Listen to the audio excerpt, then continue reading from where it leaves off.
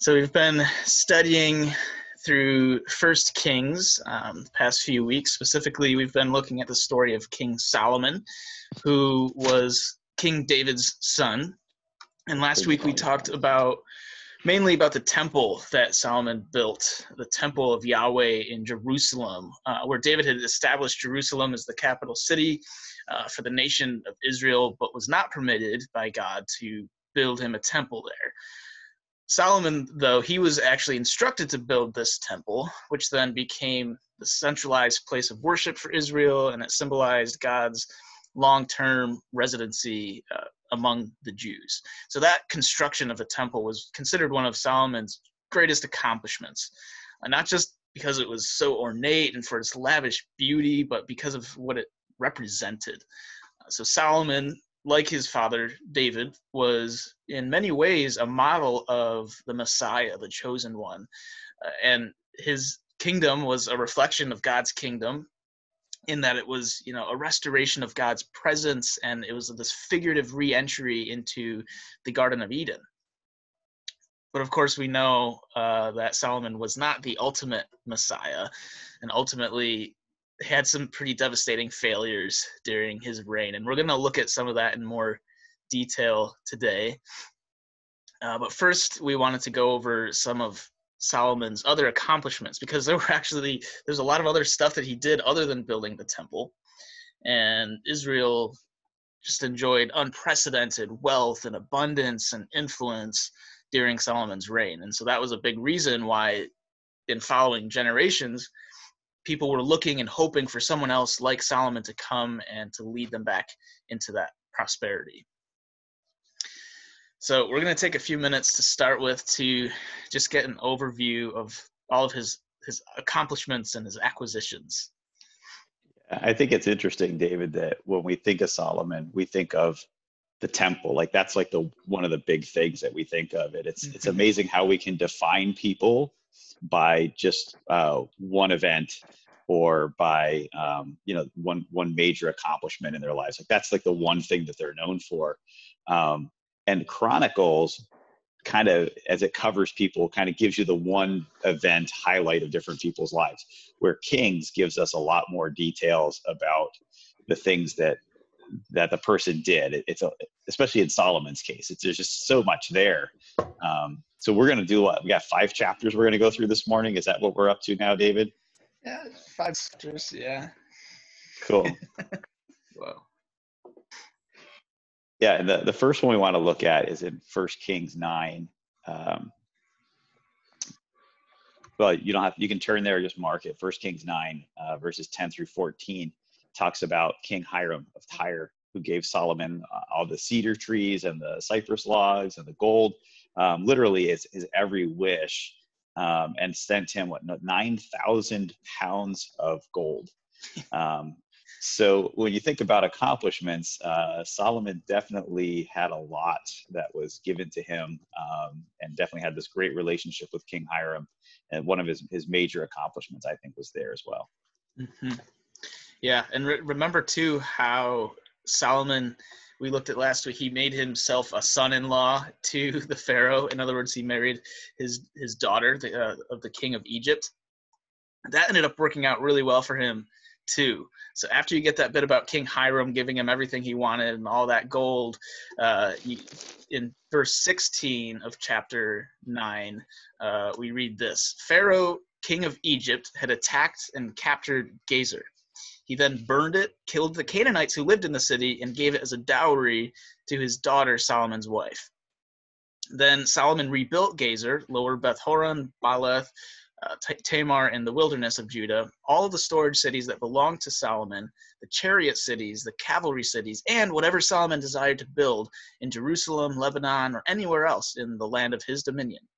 As for all the people who remained of the Amorites, Hittites, Perizzites, Hivites, and Jebusites who were not Israelites, their descendants who remained in the land after them, those whom the Israelites were unable to destroy completely, Solomon imposed forced labor on them.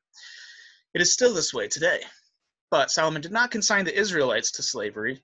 They were soldiers, his servants, his commanders, his captains, and commanders of his chariots and his cavalry. These were the deputies who were over Solomon's work, 550 who supervised the people doing the work. So Egypt, this kingdom which you know, a few generations ago was oppressing and enslaving the Israelites, is now allied with Israel and actually helped Solomon suppress and enslave their enemies and to expand their borders. And did you notice that term there? It says he had storage cities, just like a whole city just to store all your stuff. yeah, that's, I, I was I, I was more impressed with the chariot and cavalry cities. I mean, they're like entire what like neighborhoods of people with chariots and horses and everything like like entire cities of just wow. people who dealt with horses. Come on, you have to have a bad pun every now and then, David. Wow, I don't know what to say. Uh, so then w- the end of chapter 9 then uh, ends with some more verses describing even more of uh, Solomon's achievements. It says, Pharaoh's daughter moved from the city of David to the house that Solomon had built for her. He then built the terraces. Three times a year, Solomon offered burnt offerings and fellowship offerings on the altar he had built for the Lord, and he burned incense with them in the Lord's presence. So he completed the temple. King Solomon put together a fleet of ships at Ezion Geber, which is near Eloth on the, shower, on the shore of the Red Sea in the land of Edom. With the fleet, Hiram sent his servants, experienced seamen, along with Solomon's servants. And they went to Ophir and acquired gold there, 16 tons, and delivered it to Solomon. Again, that's just so much gold, I can't even fathom. Um, but things are looking really good here. Uh, the the wife from Egypt is really working out for him. He's worshiping at the altar that he himself built. I have to imagine that would have just felt pretty satisfying. And he has this whole fleet of ships just continuously delivering him gold in tons. Uh, so life is pretty sweet. Uh, and so naturally, all this is happening, uh, and it's it's making waves. News of all this activity is going to spread, and Solomon gained quite a uh, reputation for himself. So he's now known for his unprecedented wisdom, his glorious temple, and this unfathomable wealth. And this reputation is not just among Israel; it's it's international. And we see that in chapter 10, uh, which begins with this a story of an encounter he has with the queen of Sheba. And Sheba would have been to the southwest of Israel in the region of where Ethiopia is. So we're to read through the first part of chapter 10. Mike, do you want to read that for us? Sure. Chapter 10, verse 1. I'm, I'm listening to all the people tapping on their phone right now, getting to their app. Yeah. So. Whereas normally it'd be so, like the pages rustling in church. and yeah. Exactly, exactly. So the Queen of Sheba heard, uh, which is actually what the Hebrew word shema, right? The, the mm-hmm. Queen of Sheba heard about Solomon's fame connected with the name of the Lord and came to test him with riddles.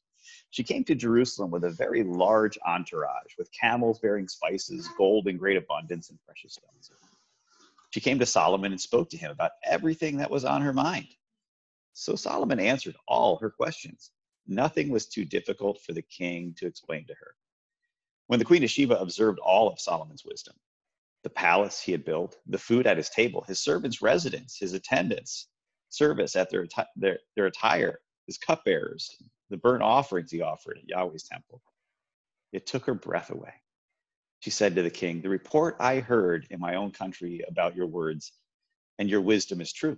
But I didn't believe the report until I came and saw it with my own eyes.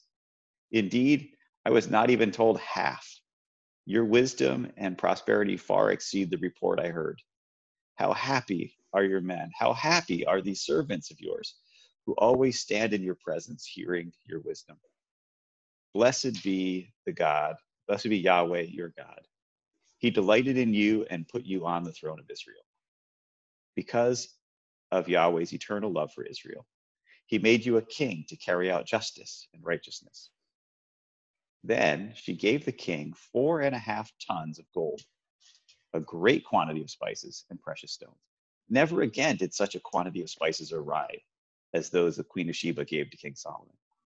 In addition, Hiram's fleet that carried gold from Ophir brought from Ophir a large quantity of almug wood and precious stones. Now, almug wood, you should know, is like sandalwood. We would have the very modern day sandalwood. Um, the king made the almug wood into steps for Yahweh's temple, and the king and the king's palace, and into lyres and harps for the singers.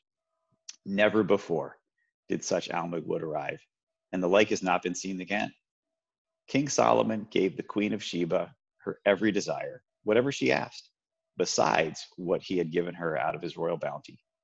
Then she, along with her servants, returned to her own country. Um, yeah, this is kind of one of those passages that, that makes you nervous, doesn't it, David? It's like, oh, yeah. oh there's a woman, there's a woman showing up. This is going to be trouble, you know. A foreign woman, this strange foreign woman, and she's a queen. Uh, yeah, that how it starts off um, kind of makes it seem like this could be spelling disaster. And I just wonder, hmm, she's gonna. It even says she wants to see if she can uh, stump him, basically. So it's like, how is she gonna trip Solomon up? This is this is gonna end badly. Uh, but it doesn't. You know, instead, her tour of Solomon's kingdom actually results in her praising Yahweh, and Solomon's glory is seems to be bringing glory to God in this situation. And then she just she returns to her own country. She didn't cause any trouble, and that whole story is wrapped up nice and neatly. Um, so it's perfect. Uh, yeah, and I think that that goes. You had asked the question like, why would God put all these riches in front of Solomon if it if he knew that riches were going to be a temptation, right? And uh, I think that when you see the way that that brings glory to God in this case, you can see why God would do it you know what i'm saying it's mm-hmm. like it, yeah. it wasn't just about solomon's glory it was about god's glory and all of that um, interesting note though um, both kings and chronicles cover the story but chronicles adds a little extra spice to it um, in second chronicles 9 12 it said king solomon gave the queen of sheba her every desire whatever she asked for far more than she had brought the king and then she, along with her, servants, returned to her own country. So the queen came with gifts to impress Solomon and left impressed by God and returned with more than she came with, which is a really interesting little twist. Um, you know, she thought she was coming with all this stuff to impress him. And when she left, she left impressed and with more wealth than she brought to him. Really yeah, cool. That's cool. I, and I caught your second pun within five minutes too. Added Not bad. spice to it. Yeah. Yeah. I might have some more. I don't know. uh, so yeah, that that story is definitely significant, and I think that makes sense why is it is included in Chronicles, whereas some of the other details are not, um, because it does demonstrate uh, how God can use you know wealth and splendor to bring glory to Himself. So that's cool. Um, then we continue in chapter 10 to get more of an idea of, of his of the wealth and the opulence that he had. Um, so we're now to verse 14 and um, i guess i can i'll read this one. The weight of gold that came to solomon annually was 25 tons. Besides what came from merchants traders merchandise and all the arabian kings and governors of the land King Solomon made 200 large uh, shields of hammered gold. 15 pounds of gold went into each shield. He made 300 small shields of hammered gold. Nearly four pounds of gold went into each shield. The king put them in the house of the forest of Lebanon. The king also made a large ivory throne and overlaid it with fine gold. The throne had six steps. There was a rounded top at the back of the throne, armrests on either side of the seat, and two lions standing beside the armrests. Twelve lions were standing there on the six steps, one at each end. Nothing like it had ever been made in any other kingdom. All of King Solomon's drinking cups were gold, and all the utensils of the house of the forest of Lebanon were pure gold. There was no silver, since it was considered as nothing in Solomon's time, for the king had ships of Tarshish at sea with uh, Hiram's fleet, and once every three years, the ships of Tarshish would arrive bearing gold, silver, ivory, apes, and peacocks. King Solomon surpassed all the kings of the world in riches and in wisdom. The whole world wanted an audience with Solomon to hear the wisdom that God had put in his heart. Every man would bring his annual tribute items of silver and gold, clothing, weapons, spices, and horses and mules. Solomon accumulated 1,400 chariots and 12,000 horsemen and stationed them in the chariot cities and with the king in Jerusalem. The king made silver as common in Jerusalem as stones, and he made cedar as abundant as sycamore in the Judean foothills. Solomon's horses were imported from Egypt and Kue. The king's traders bought uh, bought them from Kue at the going price. A chariot was imported from Egypt for 15 pounds of silver, and a horse for nearly four pounds. In the same way, they exported them to all the kings of the Hittites and to the kings of Aram through their agents.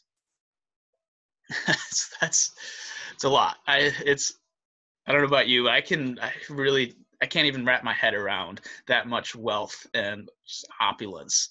Um, so chapter 10 is a really a good summary of Solomon's achievements. It starts with that example of his fame and his reputation and how that spread internationally, and then it ends with this overview of just all of his accumulations. And if you remember the end of chapter four, um, it makes kind of a similar list, but it's more focused on the to the fruits of Solomon's wisdom, like the three thousand proverbs and a thousand and five songs and teachings on all sorts of different topics. And Lord willing, we'll actually talk about that aspect of Solomon's legacy next week. Um, yeah, and if you've been comparing to the Chronicles to Kings, you'll notice that in Chronicles, um, the weight of those shields is different. Um, yeah, so the, they both had different weights as far as how much gold, but the, the idea of having so much gold that you actually made shields and put them on the wall as a decoration, you know, with whether it was five pounds or 15 pounds or seven pounds of gold to hammer out a shield was just, just I can't even imagine anything quite like that. Um, the other thing it said too in Chronicles was that it wasn't just all the men that brought tributes, all the kings from the surrounding regions would come and bring tribute to Solomon, which also then paints him in this picture of a king of kings, which again, mm. keeping with that Messiah theme, you have Solomon being the king that all the other kings looked up to because of his blessing from God and his wisdom. And he becomes a king of kings where other kings pay tribute to him. And so, just an interesting, subtle uh, little thing that Chronicles brings up that I think helps to talk to kind of uh, enforce that Messiah concept that we've been talking about with Solomon. Mm. Yeah, definitely. And yeah, whether it's regardless of the exact weight, the point is still it was a lot. it was a lot. Okay. Um, so those chapters are focused mainly on just the accumulation so far of wisdom and wealth and fame and physical goods. And then we get to chapter 11 and we find out about this other it's another type of accumulation that's also happening. Um, it, in verse 1 it says that king solomon loved many foreign women in addition to pharaoh's daughter moabite ammonite edomite sidonian and hittite women from the nations about which yahweh had told the israelites you must not intermarry with them and they must not intermarry with you because they will turn your heart away to follow their gods to these women, Solomon was deeply attached in love. Oh no. so we've gotten to some bad news. uh, so that situation with the Queen of Sheba turned out fine, right? Well, it was sort of may have felt a little foreboding. It was okay. Uh, but then these women are clearly presented right off the bat as just being a problem for Solomon because this is just an obvious violation of what God had commanded and it gets pretty much right to the point in saying that his his many wives uh, were Solomon's downfall. Yeah, he didn't just have a few of them either, did he? I mean, yeah. this gets crazy. This gets really yeah. crazy. Just what does that phrase "many wives" mean? um, uh, yeah, and when I think of the accomplishments of Solomon, the funny thing is, is this is the other thing that I think is most often quoted is how many wives and concubines he had. Um, mm. Look, let me read this passage and you yeah. can go on with the commentary. Uh, in First Kings 11, starting in verse 3, he had 700 wives who were princesses and 300 who were concubines, and they turned his heart away. And when Solomon was old, his wives turned his heart away to follow other gods. he was not wholeheartedly devoted to Yahweh, his God, as his father David had been. Solomon followed Ashtoreth, the goddess of the Sidonians, and Milcom, the abhorrent idol of the Ammonites. Solomon did what was evil in Yahweh's sight. And unlike his father David, he did not remain loyal to Yahweh. At that time, Solomon built a high place for Chemosh, the abhorrent idol of Moab, and Milcom, the abhorrent idol of the Ammonites, on the hill across from Jerusalem. He did the same for all his foreign wives who were burning incense and offering sacrifices to their gods. Um, like I, I think of that phrase that they threw in there, David, just to kind of, uh, I know this isn't in our notes here, but that phrase, as his father David had been, mm-hmm. um, it's interesting that uh, it says his heart wasn't like his father David as far as being wholeheartedly for God, and yet his stumbling point was very much the same as as very his father's. True. Yeah. Yep. And if you if you did the the math, that was seven seven hundred plus three hundred, so that's a thousand thousand wives in total. So that say that word many is a bit of an understatement. and uh, that statement that 700 were princesses also that implies that those were politically motivated marriages they were daughters of kings like the first one that was mentioned uh, like his marriage to pharaoh's daughter so, David, you do realize that we're bringing this up on Mother's Day, right? yes. Okay. Happy Mother's Day, everybody. uh, yeah, wasn't intentional, but yeah. Um, a side note, by the way, is that Chronicles does not cover this part of the story. Um, Chronicles covers just the accomplishments of Solomon, um, and the Queen of Sheba is recorded but this this apostasy this this part where his heart turns away from god to women is totally left out of chronicles hmm. or included in kings intentionally i mean whether it was you know left out on purpose or whether it was added to this one on purpose there, there's an intentionality of it being in the scriptures even though it's not stated in both uh, of the book mm-hmm. yeah and yeah it's definitely very straightforward in saying that he messed up and ultimately it was these these foreign wives he turned his heart away from god.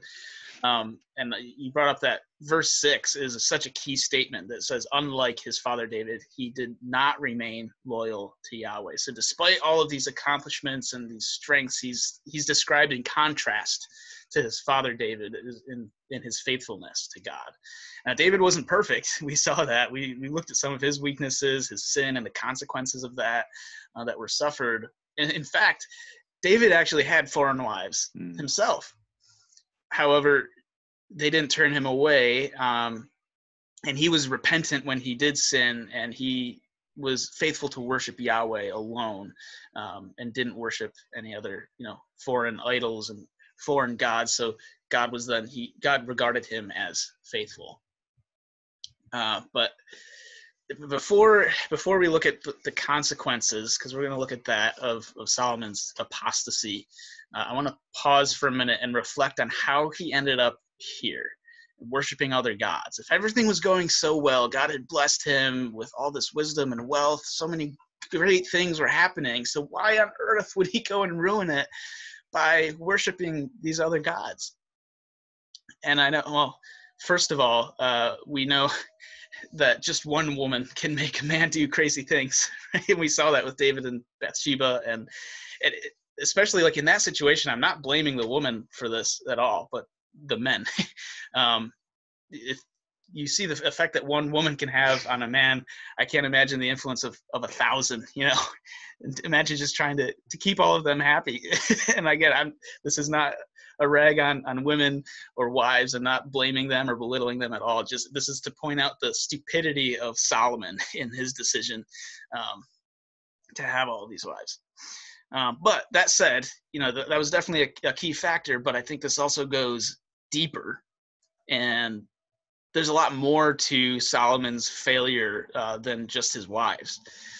So if we look back, um, and like Mike said, it really goes back to a matter of his heart not being in the right place.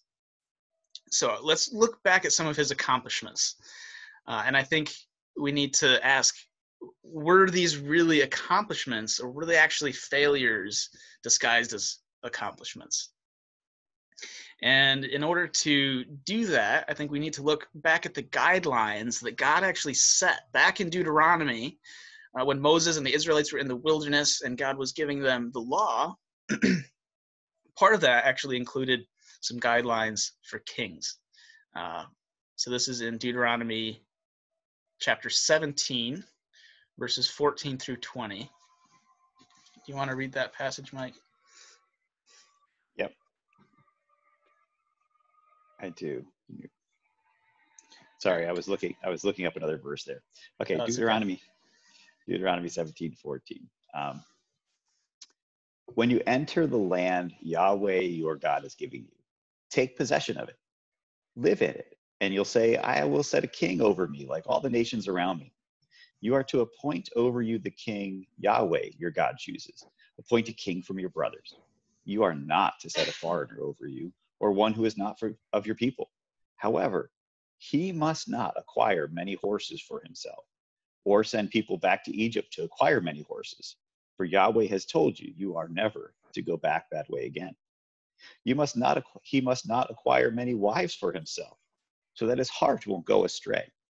He must not acquire very large amounts of silver and gold for himself. When he is seated on his royal throne, he is to write a copy of this instruction for himself on a scroll in the presence of the Levitical priests. It is to remain with him, and he is to read from it all the days of his life, so that he may learn to fear Yahweh his God, to observe all the words of this instruction, and to do these statutes. Then his heart will not be exalted above his countrymen. He will not turn from this command to the right or to the left, and he and his sons will continue reigning many years in Israel. So you know, it's crazy, isn't it? yeah, yeah. After reading that passage, it seems like this passage in First Kings is directly calling out each of these instructions as having been specifically violated by Solomon. Um, I think to help visualize that, to put quotes side by side uh, from Deuteronomy and First Kings, um, and I think Mike can share share his screen to to show you a, a chart uh, that I came up with. Um, if you look at Deuteronomy, it says he must not acquire many horses for himself, and in First Kings it says Solomon accumulated 1,400 chariots and 12,000 horsemen. That's many horses. Uh, he must not send the people back to Egypt to acquire many horses. Specifically says Solomon's horses were imported from Egypt and Kue. He must not acquire many wives for himself so that his heart won't go astray. King Solomon loved many foreign women. He even he had 700 wives who were princesses and 300 who were concubines, and they turned his heart away. It's like it's almost word for word uh, reflecting Deuteronomy. Um, he must not acquire, oh, there's a typo there. He, he must not acquire very large amounts of silver and gold for himself. the weight of gold that came to Solomon annually was 25 tons, and the king made silver as, as common in Jerusalem as stones and then there's this bit that says that he's supposed to write down these instructions in front of the priests and read them every day you know when he sits on the throne he needs to be thinking about these things. And obviously there's no mention of him reading these instructions uh, because clearly that just wouldn't work. Uh, and then finally that just his heart would not be exalted above his countrymen and seeing that the, the king made this large ivory throne and overlaid it with fine gold. The throne had six steps. So he literally you know he was elevating himself uh, to a, a, higher position. And then he he enacted slave labor and collected tribute. Um, so you, you see his his heart being exalted above the people in that way. Uh, it's just it, it's again it's almost word for word playing off of deuteronomy yeah, and there's even even the the phrasing in between Chronicles and Kings. Um, it wasn't just that he imported the horses, but as we read, it's like his his purchasers went to Egypt mm-hmm. and bought them and brought them back. Um, I mean, it was very specific that it wasn't just like, oh, somebody from Egypt sent him some horses. It's like, no, he sent somebody there to buy them and bring them back. Um, and the the exalted one thing to, to keep in mind too about the forced labor though think it specifically said that the forced laborers were not the Israelites. Correct. Um, Yeah. They were the other nations around him, but not the Israelites. But the the people definitely felt a burden um, in going with this idea of being exalted above, above his countrymen. Later on, when Solomon is succeeded by his son, mm-hmm. um, there's a lot of complaining about how hard it was uh, on the people with Solomon as their mm-hmm. king. So definitely that is being brought out later on um, with Rehoboam, mm-hmm. uh, with the fact that Solomon had elevated himself above his countrymen quite a bit. Yeah, and the fact that he did not enslave the Israelites was a good thing. And that was in keeping with the law uh, that specifically said not to enslave your, you know, fellow Israelites. Uh, however, like you said, it was pretty. He was pretty tough on the Israelites, and even just the spirit of slavery um, was not. I don't think it's painted in, in a very positive light. In, in, fact, he looks more like the Pharaoh of Exodus. Um, in all of this, enslaving the foreigners, and you know all this really is making him look like the, the big bad villain of the past. well, yeah, and going back to the whole Exodus event, I think what blows my mind in all of this is, as you mentioned, it sounds like they're like this passage was written specifically about Solomon, almost as if somebody's standing in front of Solomon and saying, "These are the things you shouldn't be doing that you're doing." And yet, this, these verses were not written to Solomon. They were written to the Israelites in the wilderness after leaving Egypt. Before, Before they entering... were thinking of having a king. well, that's right. They had no king, and they, they hadn't even asked for a king yet. And God gave them specific instructions about the king. Um, and when they demanded a king to be like all the other nations, God knew they would do that. He let it happen. But it sound it, it just when I read it, it's just my mind just explodes thinking about the fact that all those years before God knew the exact details of what the heart of Israel would be, and He knew what Solomon was going to struggle with. And he, it's like, it's like He wrote this about Solomon's scenario years and years and years before Solomon was even born knowing what Solomon would do. And so if you're one of those people that just likes to ponder and contemplate the, the sovereignty of God and the omniscience of God, this is one of those times where you can geek out and just really enjoy it. Um, mm-hmm. Yeah, I know. I remember when when this first hit me, um, this realization of the connection there, it just totally blew my mind. I was like, "Whoa, that's crazy!" Uh, and all these things, so many things that looked like and would have would have to them at that time looked and felt like wonderful accomplishments were in reality actually failures to obey God. Mm. And this reminds me of a lesson, that same lesson that Saul learned the hard way. If you remember back in First Samuel, uh, when Samuel said to Saul after he refused to wipe out all of the the people he was supposed to wipe out, he saved some of the animals to to sacrifice to God. Um, Samuel said, Does Yahweh take pleasure in burnt offerings and sacrifices as much as obeying Yahweh? Look, to obey is better than sacrifice, to pay attention is better than the fat of rams. Um, and yes, sorry, that's First Samuel 15, uh, verse 22. Um, so this principle that obedience is better than sacrificing or doing things that are otherwise, you know, what we would think is good things, um, obedience is is better. And that's a principle that holds true for us today. Um, though none of us are you know, kings we don't really need to worry about importing horses from from egypt. But we do need to remember that all the good deeds that we do in the world are worthless if we're not doing what god has called us to do. And at, at the core what does what does god require of us? Um, the day-to-day details of what that looks like obviously varies greatly for each person but invariably it starts with a common core. And we find that in back in deuteronomy again uh, when moses is addressing israel uh, in, in chapter 10 verse 12 and now israel what does the Lord your God ask of you except to fear the Lord your God by walking in all his ways, to love him, and to worship the Lord your God with all your heart and all your soul? So that's at the core of, of everything um, that we do. If, if it doesn't start there, if our heart isn't starting there, um, then it's going to be worthless. Yeah, and I think that going back to the list of all the things that Solomon did wrong and comparing that chart, when we read about God um, being upset with Solomon, um, it has to do mostly with the fact that Solomon stopped loving God. Mm-hmm. Solomon stopped worshiping God. It wasn't he didn't call out the horses and chariots. He didn't call out mm-hmm. the, the, the foreign wives per se, but it was about the fact that he had lost that that first love concept. Yes. Yeah, and that's also a reminder that while you know wealth and prosperity, those aren't things that are inherently wrong, and in fact, God really takes great pleasure in blessing people. Uh, but our our motives and our methods can certainly be wrong. Uh, and if our focus is just on the accumulation of wealth or for, of success or fame instead of bringing glory to God and loving God, then we'll have totally missed the mark. So it's it's clear that God uh, has you know called out Solomon's disobedience. Um, Solomon's messed up in all kinds of ways. So now we get to what the consequences of that um, are going to be. What, what's the fallout of this disobedience? I think I jumped ahead of the notes a little bit. Sorry, David. Did you? I did when I talked about what he, his disobedience. My bad. Sorry. That's okay.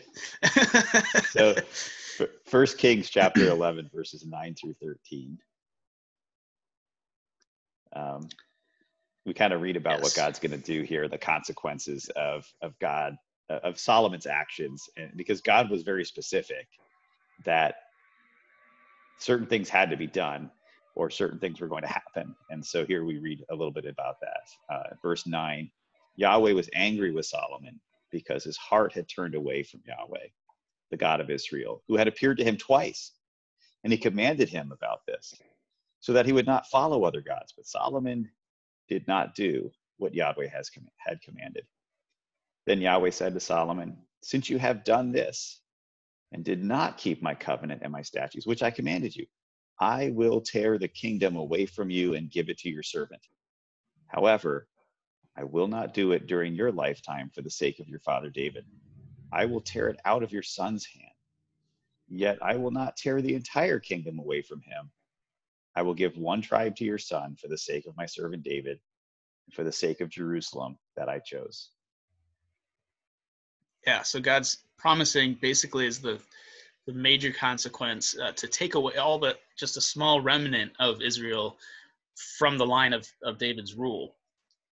So, because of Solomon's sin, we now have this nation that's headed towards destruction from from both within and from foreign enemies. Um, and we don't have time to read through all the details of what happens, but if you do um, read through it, you'll see family dysfunction and invading enemies. Eventually, we're going to end up with a divided kingdom and kings that are even worse than, than Solomon was. Um, the rest of chapter 11 describes first how God raised up some enemies against Solomon and then appointed his son Jeroboam to take 10 tribes away from the kingdom. And actually, when Solomon hears about that, he actually tries to kill Jeroboam, his own son. And then when his other son, Rehoboam, takes the throne, um, those two brothers remain at odds against each other. So eventually, Jeroboam is made king over most of Israel in the north, while Rehoboam is king over the tribes of Judah and Benjamin in the south, which is then referred to uh, mainly just as Judah. So this is really key to recognize that pretty much from this point on, after Solomon's death, the rest of First and Second Kings is telling a story of two separate kingdoms. And it lists a whole bunch of kings who came after Solomon uh, but it, it, switches back and forth between Israel and Judah, and that can be really confusing if you don't catch that split that happens here. It's kind of in the middle of First Kings, and it describes how it all happens. But it's just important to recognize that now there's two separate kingdoms, um, and it gives this list of kings uh, throughout the rest of the, the book, and it's it's kind of a bleak list for a lot of them. It really does. Go ahead. It's awful. It's just awful.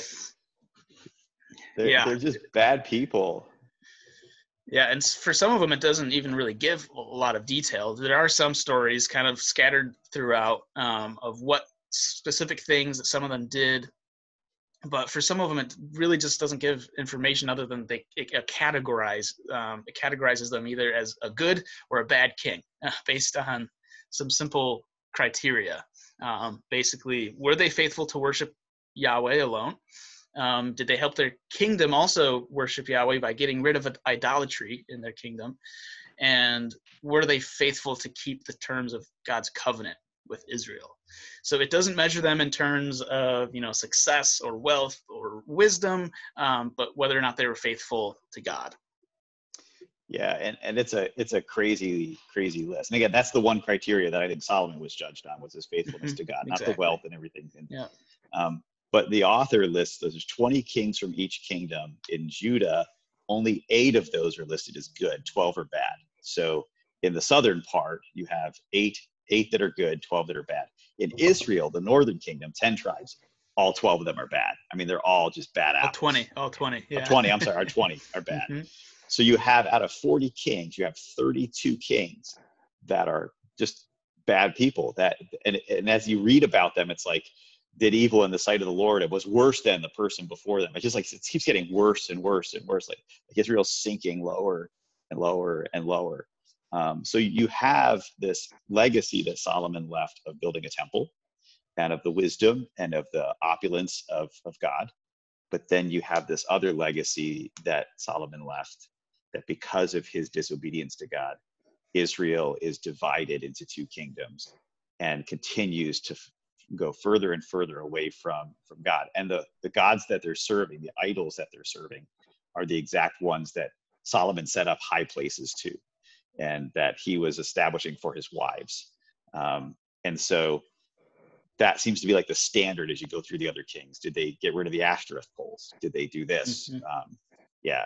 Um, but this is also the beginning of something new, too, in that this is when you start to see God raising up prophets to speak on his behalf and to call out these kingdom kingdoms um, in the ways that they violated the covenant and committing idolatry and um, creating a society full of injustice and violence and division. It's during this time period that you find stories of some of the really famous prophets like Elijah and Elisha, um, as well as some others that you know are not quite as well known. Those guys kind of like trump everybody when it comes to you know the prophets. It's like they're the big guys. Mm-hmm. But so you enter into this new phase with Solomon. You have the age of wisdom, which we're gonna look at the wisdom literature, Lord willing, next week. But after Solomon, you have this um, this reign or this uh, this season or epoch of of the prophets that come in to speak to the kings and to Israel. Mm-hmm. And you know, occasionally the prophets would have some temporary success in turning people back to Yahweh, um, but ultimately the, the kings and their people pretty much they just got worse and worse, like you said. And so eventually that all leads up to them being conquered totally and then exiled, kicked out um, as the ultimate punishment and consequence for their actions. So just as we looked at how the temple symbolized a return to the Garden of Eden, the exile from the promised land would then represent their their banishment from it. Hey, don't and, get too far ahead of the story, David. Come on. Yeah, I know. We'll we'll, we'll go more into the exile later on, but uh, f- for now, I just we wanted to trace that consequence, that ultimate consequence, um, as a direct result of Solomon's unfaithfulness because after Solomon, everything just spiraled downward. Um, and not only was we see that Solomon was not the promised Messiah, um, he ended up becoming the opposite of what the Messiah was supposed to do. And just a quick side note on that word Messiah. Technically, he was a Messiah because that word literally just means anointed one or chosen one, and it was used throughout the Old Testament to in those times to refer to any the kings and the priests who were chosen. So in that sense, they were a chosen person and in that sense they would have been looked to to see maybe they're the messiah you know maybe they're that one who's going to really you know do it all but you know eventually we see that none of them did um, until we get to to jesus christ. Yeah. Um, there's a lot of words like that in our old testament right? So you have god um, el and you have elohim and you have god but then is it the god or is it just a god? Right. Yes. Um, yeah. The same word Elohim refers to the Yahweh God and the gods of all the other nations that you know, and, and false gods that don't even exist. Uh, it's also referred used to refer to humans by Jesus. so, yeah, it's interesting. And and the word Messiah is you know it's the transliteration of um, the Hebrew word, um, which then was translated into Greek as Christos. So Messiah and Christ are also the same word. Um, so when we say Jesus Christ, it's Jesus the Messiah. It's the same the same thing. But cool. It's a total rabbit so trail. it is. It is. We're we're used to that, aren't we? So, yeah. um, so so what's the takeaway from this? Um, we, we brought up Solomon on purpose as part of our uh, overview of the Bible because of the fact of, of several facts. One is that he uh, typifies the Messiah. Uh, two is that he enters, he ushers in an era in Israel that was different from anybody else's, uh, an era of wisdom and of putting God on display like he's never been put on display before, establishing a permanent home, a temple, which is still going to be a, even with all the divided kingdom, that temple is still going to be a, a very important fixture in the lives of the Israelites. Um, Solomon, it just ends up uh, being a ruler that was so great in so many ways. Um, and yet he falls short. And uh, just like Israel rose under David and Solomon, it tanks and it dives really fast right after Solomon.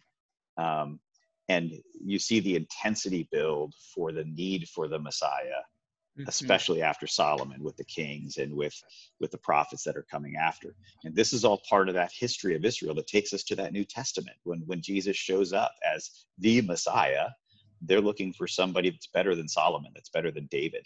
Um, you know, Solomon Moses. again, better than Moses, right? The new Moses. Um, so uh, it's part of the big picture story, uh, the, the idea of a kingdom, the idea of God's presence among people, the idea of wisdom coming from God. It all starts in Genesis, it continues through, and we see it played out in different ways. And that's all part of our story, too. You know, where do we choose to define wisdom? Where do we choose to get our wisdom from?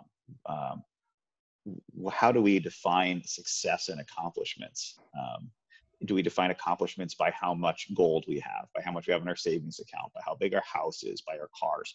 Or do we define our success and our accomplishments by our obedience to Yahweh. Um, the, the struggle that Solomon had is no different than the struggle that you and I have today. Mm-hmm. Though I don't can't say I've had 15 pounds of gold to consider hammering into a shield. Um, but it's still the same challenge, right? I mean, it's it's is am I am I going to elevate myself above others, or am I going to um, re- remember that we're all created in the image of God? And then what does that look like on a day-to-day basis? Um, and how i treat others and how i pray for others and and how i respond to others. Am i elevating myself or am i recognizing we're all made in the image of god? So i think these are some very real things that we need to wrestle with and hopefully come out on the side of david and still end up being men and women after god's own heart mm-hmm. and not coming out like solomon who eventually turns away from god. Mm-hmm. yeah and yeah, like David, you know, we'll we'll still mess up at times. Um, the important thing is to then repent and turn our hearts to God, mm. um, accept the consequences that may that may occur. Um, but it all goes back to yeah, like we're going to have different. It's going to play out in different ways, but it comes back to the same heart issues as we see in the Old Testament, even thousands of years ago. Um, we're not dealing with you know pounds of gold and horses, but um, yeah, it's the same thing as a savings account in cars. So, um, yeah, it's a great reminder that it still has practical application today. Definitely. Now, with that, um, Solomon also, though, as we look at the next week, Lord willing, we're going to look at the wisdom literature. You're going to see Solomon. Um, you're going to see the wisdom of Solomon. You're going to see the conclusion he comes to about all the wealth um, which is not necessarily what we see brought out in First Kings. And so we're going to see some contrasts even in the mind of Solomon as he's processing all these things. Um, so, uh, so what you'll want to do between now and next week is read through the book of uh, you can read through Ecclesiastes and read through Proverbs. We're going to actually cover both of those books in their entirety. Um, and Job. Hey, David. And, And, Job. Job. And, Song Job. of Solomon. Oh, great! All four of them in one Yeah. Sunday. So Yeah. Yeah. So pa- so pack your lunch and uh, uh, what are we gonna do? So uh, yeah, David, why don't you uh, close our time out in in prayer? We'll answer. We'll give you a couple of announcements and then answer questions that anybody has about uh, about the message. yeah. Let's pray.